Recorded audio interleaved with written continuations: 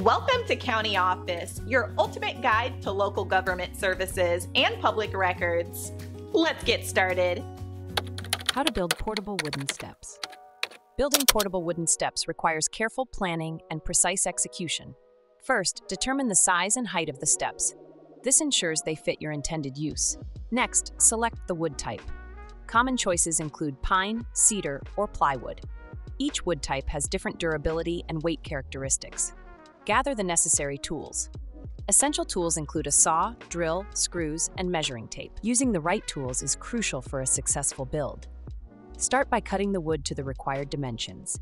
Ensure all cuts are straight and accurate. This will affect the stability and appearance of the steps. Construct the frame first. The frame provides the foundation for the steps. Use screws to secure the joints firmly. Next, attach the treads. The treads are the horizontal surfaces you step on.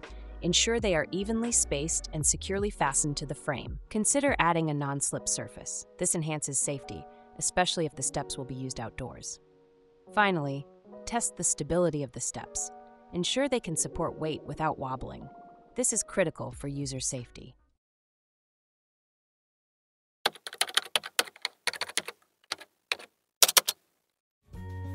To learn more, check out these links, which you can click in the description below.